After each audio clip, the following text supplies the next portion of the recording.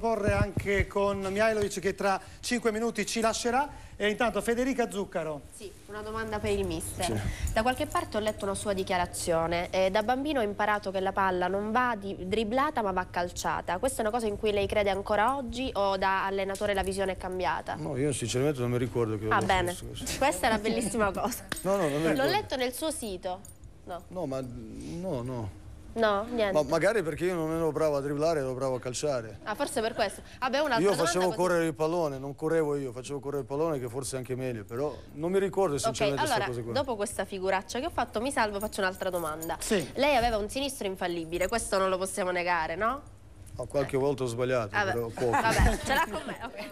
ehm, sua, nel suo ruolo, in quello che era la sua zona, giocano Capuano, Giama, lei gli dà dei consigli oppure, oppure no? Perché loro, comunque loro qualche non volta... giocano il mio ruolo. Loro Poi bisogna vedere volta, quando, perché io ho cominciato a giocare a esterno di centrocampo.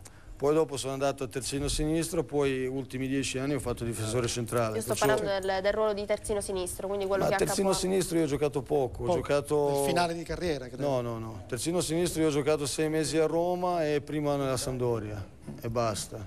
Mm. E, e, e giocavo là ma non mi piaceva perché non era mio ruolo, non mi piaceva difendere, io volevo sempre attaccare.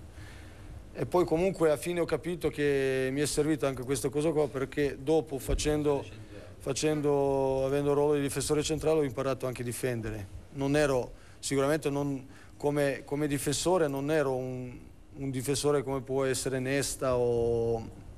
però avevo caratteristiche che comunque da dietro giocando a difensore centrale imparato a difendere abbastanza però dopo praticamente facevo regista difensivo che cominciava a partire azione come si deve perché è importante anche per una squadra avere da dietro i giocatori che sanno cominciare bene azione perché sennò certo. come parte azione certo. è giusto però i consigli sai nel vent'anni di calcio ho visto crude cotte ho visto e, e e cerco sempre de, della mia esperienza personale, da, da, quello che ho vissuto, quello che ho provato, quello che ho visto, cerco sempre di dare consigli. E penso che anche un giocatore che magari anche non ti conosce, però sa quella storia che hai dietro di te e sa quello che hai passato, sa quello che hai vinto, se tu gli dici certe cose hai più credibilità di uno magari che non ha, fatto, non ha, non ha fatto calci a questi livelli, anche se lavoro da allenatore è totalmente diverso da quello del calciatore, ma certo. comunque eh, come inizio parti già avvantaggiato, poi dopo devi mettere anche nel tuo nel lavoro di allenatore.